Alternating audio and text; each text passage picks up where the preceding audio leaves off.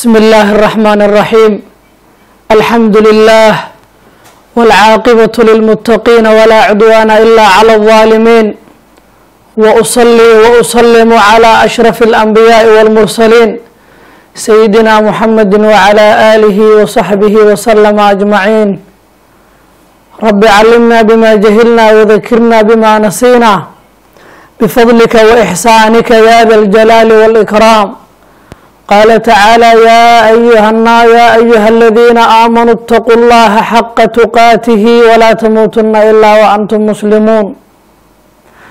قال تعالى وما أرسلناك إلا رحمة للعالمين. قل بفضل الله وبرحمته فبذلك فليفرحوا هو خير مما يجمعون. محمد سيد الكونين والثقلين والفريقين من عرب ومن عجم. نبينا الآمر الناهي فلا أحد أضر في قول لا منه ولا نعم. هو الحبيب الذي ترجى شفاعته لكل هول من الأهوال مقتحم. فإن فضل رسول الله ليس له حد فيعرض عنه ناطق بفم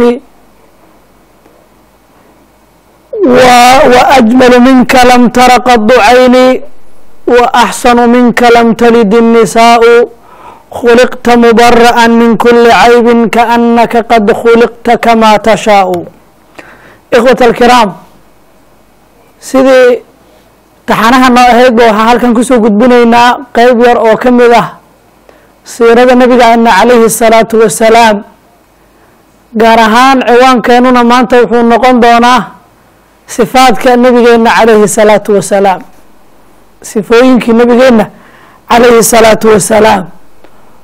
Maadaama aan anagu amran nahay wax alla wixii nabigeena calayhi salaatu wasalaam sifooyinkiisa iyo dhaqankiisa wanaagsan ahaa.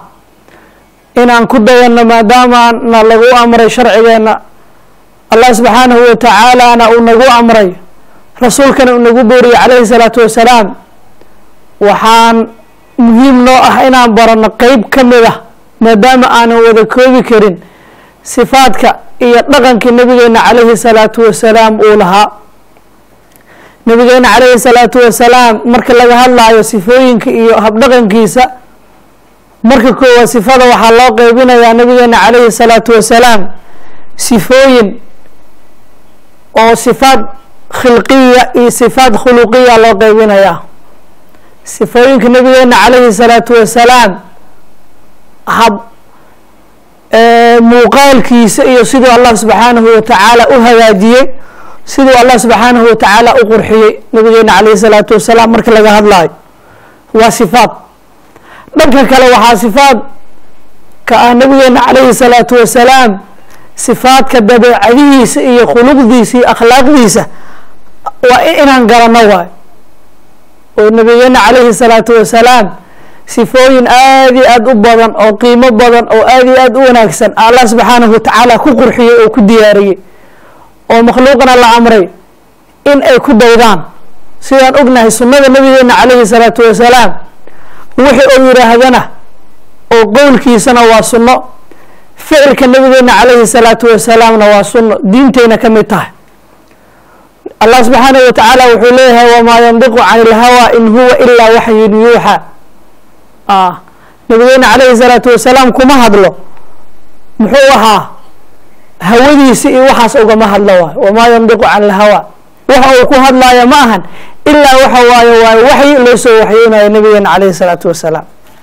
Marka waxaan wax yar ka taaban doonaa muuqaal ahaan sifada nabigeena calayhi salaatu wasalaam oo sifaadka gaar ahaan sifaadka habdhismeedka iyo muuqaalka ilaahay u dhigay marka laga hadlaayo. Sifaadka nabiga calayhi salaatu wasalaam oo xagga jismiga iyo biniyada dhismaha marka laga hadlaayo nabigeena calayhi salaatu wasalaam waxaa lagu tilmaamaa inuu ahaa marka hore mutawasida dhuul dhirirkiisu miduu dhexdhexaad yahay. Ma ahan dhirir aada u dheerna ma ahayn. Gaabi oo xag gaabi xigtana ma ahayn oo wuxuu ahaa nabigeena calayhi salaatu wasalaam. Mid dhexdhexaad u ahaa mutawasit rabciya alqaamaa la yidhaahdaa marhaban nabigeena calayhi salaatu wasalaam muuqaalka wejigiisa wuxuu ahaa weji aada iyo aad u qurux badan oo iftiin badan oo muxuu ahay mudawara oo aada iyo aad u wanaag u qurux badan uu ahaa. Midabkiisuna wuxuu ahaa midab cadaana oo lagu dheehay xumra mubyadan mushrab alxumriyaa la yiraahdaa oo aada iyo aad u iftiin badan. Cidda aragtana aysan ka jeysan karin. Awoodna aan loo lahayn nabigeena calayhi salaatu wasalaam in aada loo daawado o aada loo fiirsado. Haybada qofka qabanaysa markuu arka nabigeena calayhi salaatu wasalaam sida saxaabada ay ku warameen wuxuu ahaa nabigeena calayhi salaatu wasalaam iftiin iyo nuur aa ka baxaya nabigeena calayhi salaatu wasalaam. Indhihiisuna laba indho oo madow ah muxuu ahaa indho waasacana ah meeshii madowgooduna aada u daran yahay meeshu caddana ay aada u caddahay oo muxuu ahaa indho waasac ah uu ahaa nabigeena calayhi salaatu wasalaam. Tintiisuna waxay ahayd nabiga calayhi salaatu wasalaam tin badan ilaa garbahaas gaaraysaa lagu sheegay. Allahu mustacaan nabigeena calayhi salaatu wasalaam wuxuu ahaa saaxib alibtisaama mid dhoola cadayntiisu ay badan tahay. Ma ahayn nabigeena calayhi salaatu wasalaam qof xerxeran ma ahayn dabcigiisa la mid ah ma ahayn qof muxuu ahaa qosolkiisu qahqaha uu yahay oo aada iyo aad qosol qosol weynna ma ahayn. Sifada nabigeena calayhi salaatu wasalaam dhoola cadayn badan weji furan qof alla qof kastaba oo la kulma uusan ka tegi karin uu ahaa nabigeena calayhi salaatu wasalaam.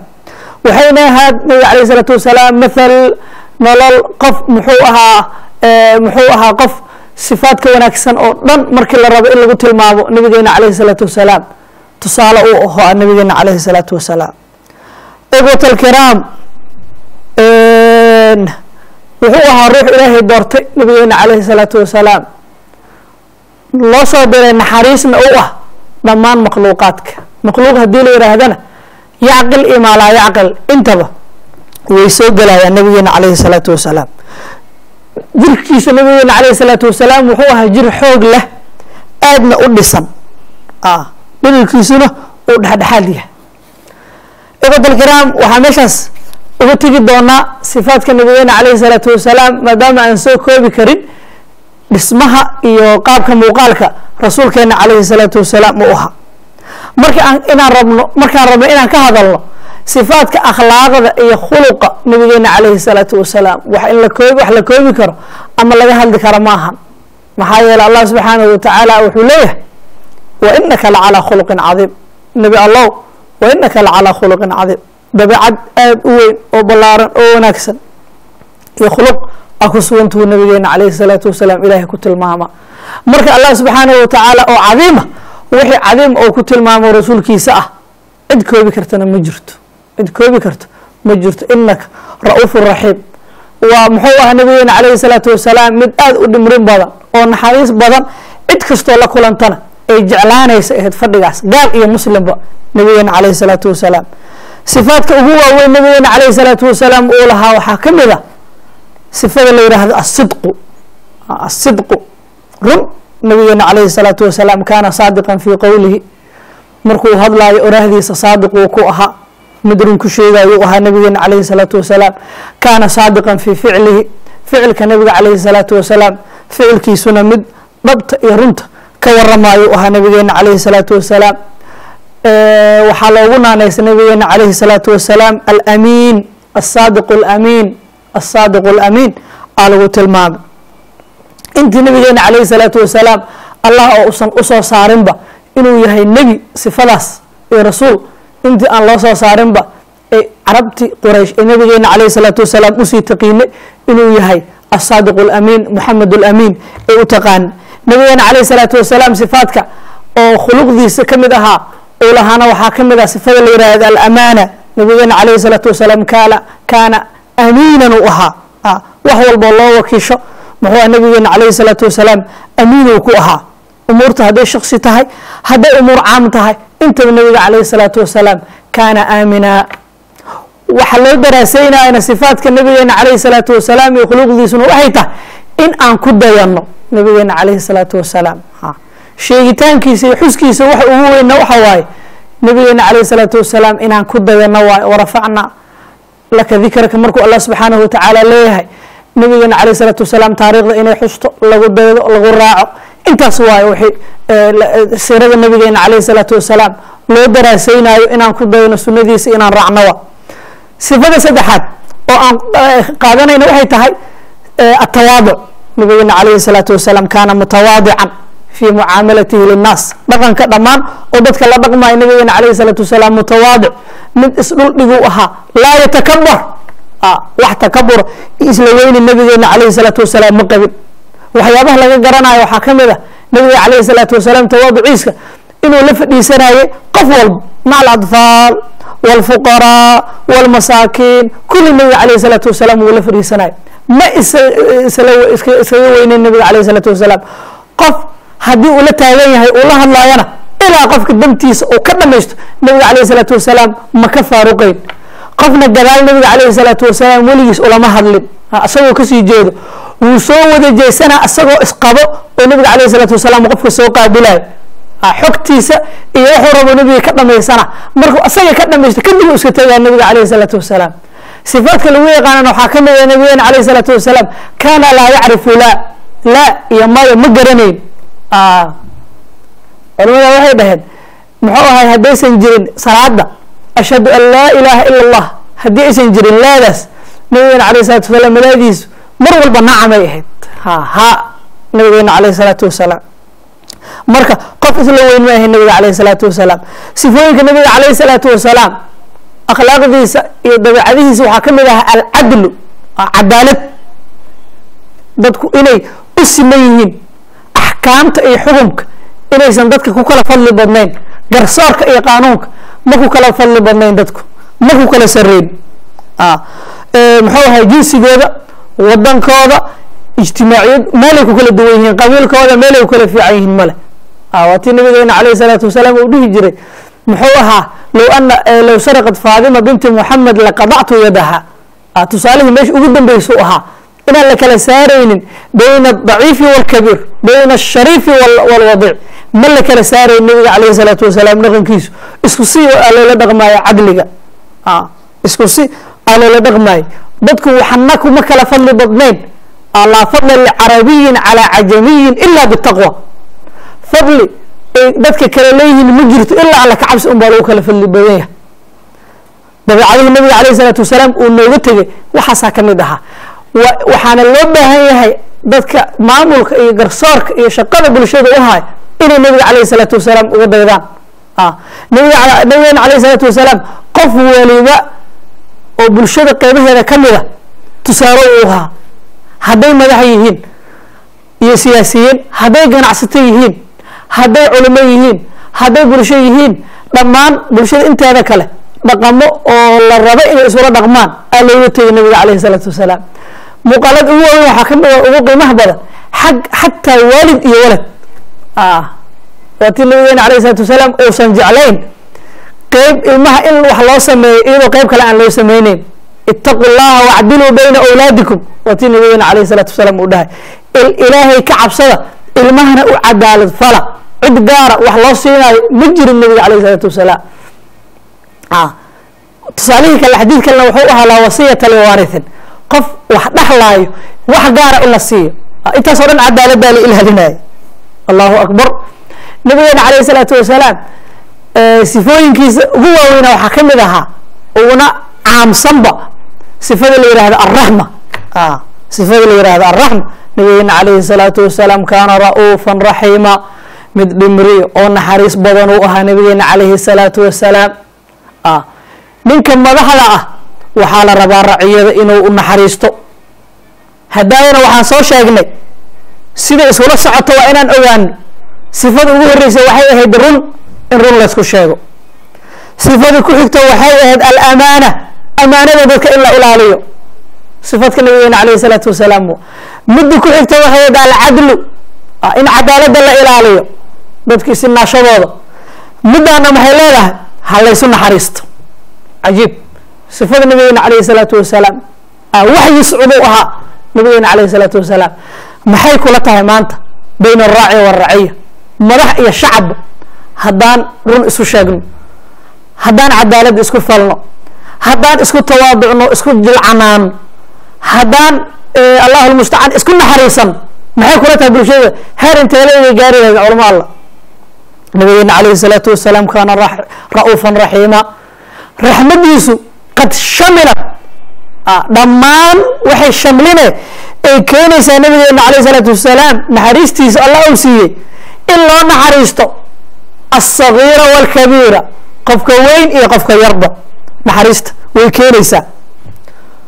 Walqariiba walbaciid qofka dhow iyo qofka fogba in loo naxariisto ay naxariista nabigeena calayhi salaatu wasalaam ahayd. Kayn hadduu yahay qof qariib oo kuu dhow iyo qof fogba hadduu yahay naxariista waa muxuu ahay nabigeena calayhi salatu wasalaam naxariistiisa way keenaysa. Waxaa kaloo ka mid a bayna rajulin wa imra'a farqi uma lahayn naxariista. Way u baahan tahay naxariista way keenaysaa bayna adaciifi walkabiir qof shariif ah iyo qof daciifa naxariista nabigeena calayhi salaatu wasalaam way keenaysa.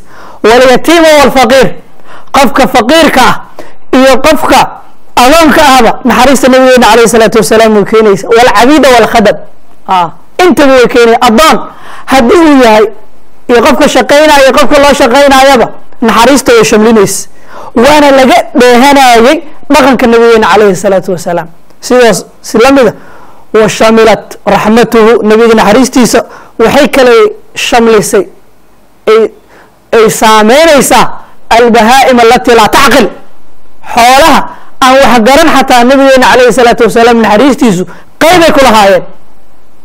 Tusaalooyin lama koobi karo. Xayawaanku ay nabigeena calayhi salaatu wasalaam dadka iskale ay uga soo dacwoonayeen waa ku dhibtoonnay ay dhahayeen nabiga calayhi salaatu wasalaam. Si allah subxaana watacaala asaga u garadsiinaya qaab ah. Ay ku soo dhibtoonayeen ay u imaanayeen nabiga calayhi salaatu wasalaam ayagoo sheeganaya weliba. Intaas waxaa ka garanaynaa allah subxaana watacaala soo ma dhihin wamaa arsalnaaka ilaa raxmatan lilcaalamiin wamaa arsalnaaka nebi maxamedow kuma dirin ilaa raxmatan lilcaalamiin naxariis inaad tahay oo makhluuqaadka dhammaana u tahay caalamiinna haddii la yidhaahdo waa dhammaan makhluuqaadka. Lama kala qaadin. Bayna maa yacqil wamaa laa yacqil. Xayawaanka inta u kuwa wax garta iyo kuwa wax garan. Naadiq iyo hayru naadiq kuwa hadlo iyo kuwana hadlin intaba muxuu ahaa naxariista nabigeena calayhi salaatu wasalaam way ku daaqayeen.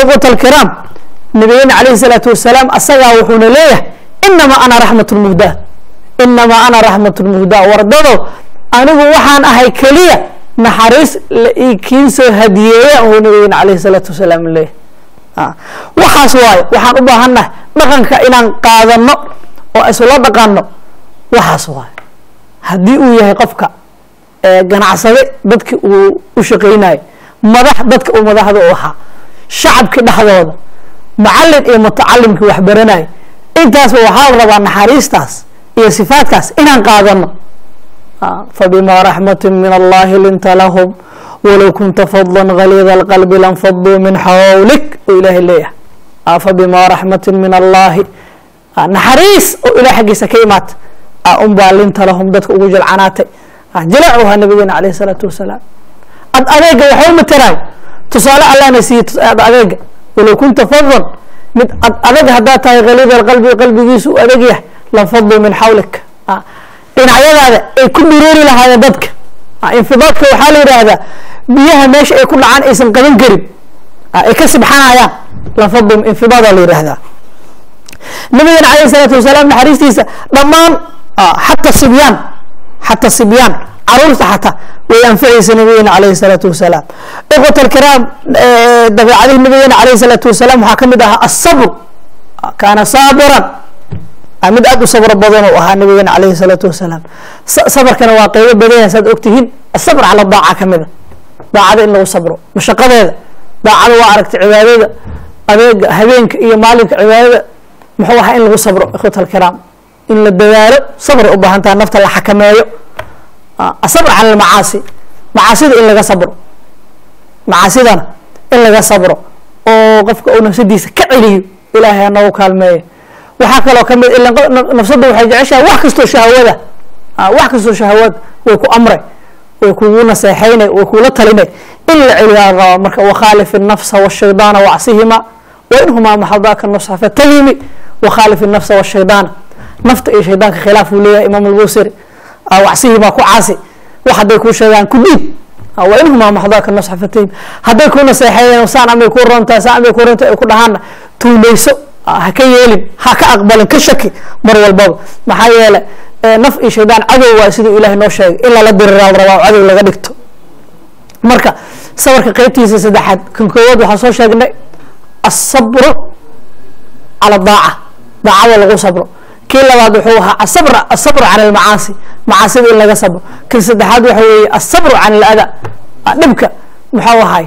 Dadka ay ku dhibayaan iyo iyo dhibaatada dadka in la sabro oo la dul qaato nabigeena alayh isalaatu wasalaam dabiicadihiisa waxaa kaloo ka mid ahaa alcafw cafw inuu iska cafiyi jira nabigeena alayh isalaatu wasalaam. Cafigiisaa badnaa kaana sala allahu alayhi wasalam. Ilah wuxuu leeyahay khud ilcafwa wamur bilcurfi wacrad can iljaahiliin cafi qaadou leeyahy nabigeena alayh isalaatu wasalaam waa la amray wuu qaatay. Khud ilcafwa wamur bil wamur bilcurfi wanaaga iyo samahana far. Aa la yiri nabigeena alayh isalaatu wasalaam sidaasoona u qaatay samaha iyo wanaaguu fari jiray wacrid can iljaahiliin dadka jaahiliintana ka jeeso.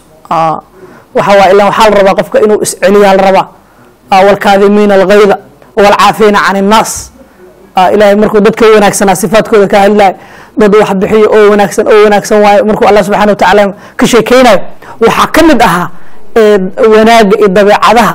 Dadka suubanoo wanaagsan waxaa ka mid ahaa dabeecadaha nabi allah subxaana watacaala uu ku sheegay dadka wanaagsan wlkaadimiina algayda dadka caradooda qaryo waa wlkaadimiina algayda carada in la iska qarsado miyaa marka maya walcaafiina can innaas dadkana cafiyuu leeyahay allah subxaana watacaala walcaafiina can innaas wallahu yuxib lmuxsiniin dadka muxsiniintan allah subxaanahu watacaala waa jecelya wa in allaha yuxib lmuxsiniin war ixsaan fala. Ilahay dadka ixsaanka fala waa jecel yahay. Allah subxaana watacaala waa jecel yahay marka lagu dhaho. Bimacnaa waxa weye waa u naxariisana waa cafina alla jannadiisa u geyna waa martiqaada waa ikhwat alkiraam si intaasba loo helo waa inaan qaadano sifooyinka nabigeena calayhi salaatu wasalaam. Intaan soo sheegna waa inaan la socono hadday asidqu ay tahay run in la sheega hadday tahay ammaane hadday tahay tawaaduc in la isku jilcanaado lasdhuldhigo dadka aan laisla weynaan hadday tahay naxariis hadday tahay cafwigii hadday tahay la cafiyo dadka hadday tahay muxuu ahaa ixsaanka hadday tahay sabar hadday tahay dhammaan sifaadka nabigeena calayhi salaatu wasalaam looga tego nabigeena calayhi salaatu wasalaam wuxuu ku tegay dhammaan shariica kaamila mutakaamila. Shariica dhamaystiran isdhamaystiraysa waa. Ikhwat alkiraam marka nabigeena calayhi salaatu wasalaam muxuu ahaa wax walba wanaaga uu nooga tegay. Waa inaan wanaagaas qaadano laqad kaana lakum fi rasuuli illahi uswa xasan rasuulka ilaahay waxaa idinkugu sugan. Oo allah subxaanahu watacaala wuxuu leeyahay kudayasho wanaagsana idinkugu sugan. Waa inaan kudayashadaas qaadano ikhwat alkiraam waa inaan kudayashadaas qaadano ilmahan aan ku tarbiyeyn. Warhooy ilmaha lagu tarbiyey. Nabigeena calayhi salaatu wasalaam dhaqankiisa wanaagiisa jacaylkiisa hadhow ha ka shalaayin ilmaha hadday kaa halaabaan. Ilaahay hanaga koriyo. Waa in la baro suubanahayna nabigeena calayhi salaatu wasalaam dhaqankiisa iyo habdhaqankiisa waa in lagu barbaariyo. Maxaa yeele adiga waxaa ka rabtaa ilmaha sifaada sifooyinkaas wanaagsana ka rabtaa haddaadan ku tarbiyeynin nabigeena calayhi salaatu wasalaam saanuu ahaa sidaanuu ahaa sidaanuu ahaa saanuu ahaa haddaadan dhihin biro adiga ma ka arkaysid. Haddaadan ka arkina dhibaatay kugu tahay marka ikhwat alkiraam a ilmaha ku boorino sifooyinkaas wanaagsan. Ikhwat alkiraam nabigeena calayhi salaatu wasalaam sifooyinkiisa cafiga aada ugu weynaa. Madaahirul cafi maxaa ka mid a muuqaalka aan ka dheehan kara nabigeena calayhi salaatu wasalaam inuu ahaa kaana cafuwan mid iska cafi badan inuu ahaa maxaa ku garan karnaa? Waxaa ku garan karnaa wixii dhex maray nabigeena calayhi salaatu wasalaam iyo abi sufyaan. Abi sufyaan. Oo ka mid ahaa ru'asaa quraysh madaxda quraysh oo nabigeena calayhi salaatu wasalaam sida aadka ula diriirta u ahaa nabigeena calayhi salaatu wasalaam. Qabiilada ku kici jir. Alladii facala maa facal wixii uu sameeyey sameeyo aada ogtihiin sifooyinki muxuu ahaa wixii dhex maray nabigeena calayhi salaatu wasalaam iyo sufyaan. Waxyaabihii dhex maray waa ogtihiin inuu ka dhiijin jiray nabigeena calayhi salaatu wasalaam. Waa ogtihiin beerkii nabigeena calayhi salaatu wasalaam. Uxud muxuu ahaa wixii dhex maray. Axzaab wixii dhex maray waa ogtihiin nabigii abi sufyaan. Waxaa dhacday yowmu khandaq qabiil kastoo nabiga ku soo duulaya inuu u soo kaalmayn jiray waa ogtihin maca dalika nabigeena calayhi salaatu wasalaam maalinta uu soo galay fatxu maka maka markii la qabanayey nabigeena calayhi salaatu wasalaam abi sufyaan waa cafiyey waxba uma raaca nabigeena calayhi salaatu wasalaam fatxu maka waa ogtihiin inuu cafiyey keliya uguma darin waa sharfayn oo waa karaameeyey waa karaameeyey nabigeena calayhi salaatu wasalaam oo muxuu yihi man dakala beyta abaa sufyaan fahuwa aamin. Qofkii galo guriga abu sufyaan aamin waayo cidna ma daba socoto. Cidna ma daba socoto. Waa karaameeyey. Muxuu ahaa quraysh reer maka ayagoo aada u cabsanaya nabigeena alayh isalaatu wasalaam maadaama ay bixiyeen magaaladii marka ay ka bixiyeen. Ilahay uu karaameeyey asagoo mucazazaho mukaramo musharafa oo maka furtay. Nabigeena alayh isalaatu wasalaam dhammaan reer maka waxba uma raacan wuxuu yihi idhabuu fa antum dulaqa iska taga waa laydin daayey waana laydin cafiy yuri nabigeena alayhi salaatu wasalaam. Marka waxaa u baahannahay waxay tahay madaahirtaasi muuqaaladaas inaan ka faa'iidaysano muxuu ahay dhammaanna aan isku boorino madaxda iyo siyaasiyiin iyo culamaa iyo iyo muxuu ahaa mucalimiin iyo ganacsatada inaan qaadano sifaadka nabigeena alayh salatu wasalam waxyaaba lagu booriya nabigeena alayh salatu wasalam waxaa ka mid a cafigana la socdo samax iska cafin. Jileec loo wanaag sameeyo muminka dabeicadaha lagu yaqaano waxaa ka mid a muxuu ahay samxan idaa nabigeena alayh salatu wasalaam aa noo sheegayo samxan idaa marka qofka muminka markuu waxgedaayo samxa waay nin jilcan oo dadka u dhimrinaya waa. Samxan ida shtara markuu wax iibsanayana muxuu ahay nin oo musaamaxo sameeya waay musaamaxo iyo qofka asaga ka roonaado. Ikhwatlkiraam sifaatkaas waaye sifaadka la rabo inaan nabigeena alayhi salaatu wasalaam uga dayano awlaadan aan ku tarbiyeyno dhammaanna isku baraarujino intaasaan ku soo koobeynaa shakr allah xusna istimaacikum. Wasalaamu calaykum waraxmat ullaahi wabarakaatuh